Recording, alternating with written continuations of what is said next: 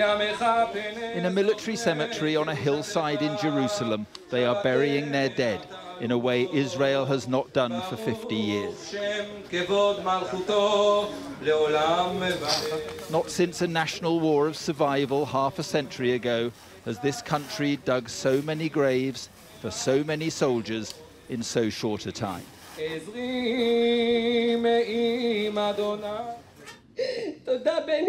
And today the shock of it all gave way to unremitting grief.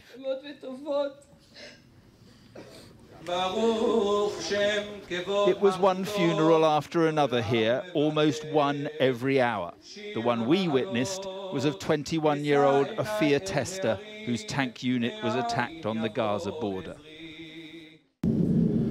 With fighter jets threatening to drown out the eulogy, it's clear the sense of security they have cultivated here has been shattered in 48 hours.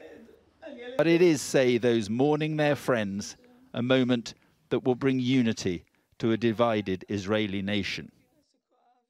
I believe that everyone here, those who, uh, you know, in the right side of the, the map and the left side, everyone wants the best for the country. It's, it's tough.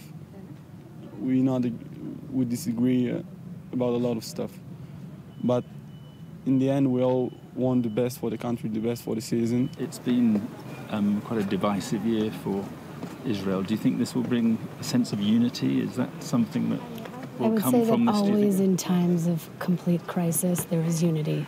We'll see what happens afterward. Families destroyed by loss. It is what war does.